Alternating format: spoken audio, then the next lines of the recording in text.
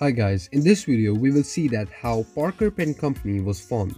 So Parker Pen Company is a French manufacturer of luxury writing pens founded in 1888 by George Parker in Janesville, United States. In 2011, the Parker factory in England was closed and its production transferred to France. This company is currently 135 years old.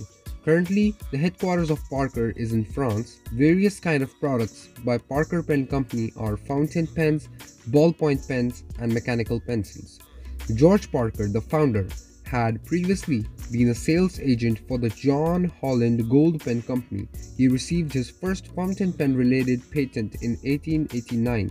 In 1894, Parker received a patent on his Lucky Curve fountain pen. The company's first successful pen released in 1899 was the Parker Jointless. Nowadays, the Parker Pen Company belongs to two parent organizations, Newell Brands and Polyhedron Holdings. The Parker Duofold fountain pen is at the apex of the high-end pens in the Parker Pen collection. The Duofold Big Red Vintage fountain pen is very popular. Some of the top models of Parker are Jotter, Vector, Sonnet, Parker 25 and many more.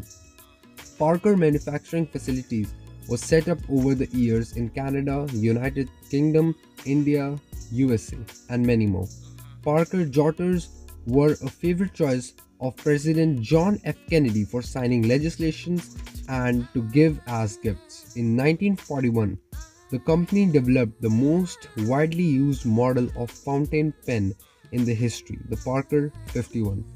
In 1954, Parker released the Parker Jotter ballpoint pen with its original nylon body and inverted V-clip.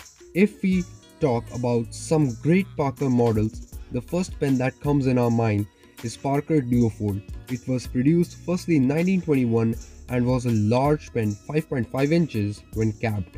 It was made by bright red hard rubber. Then comes the Parker Jotter it was the Parker best-selling ballpoint pen.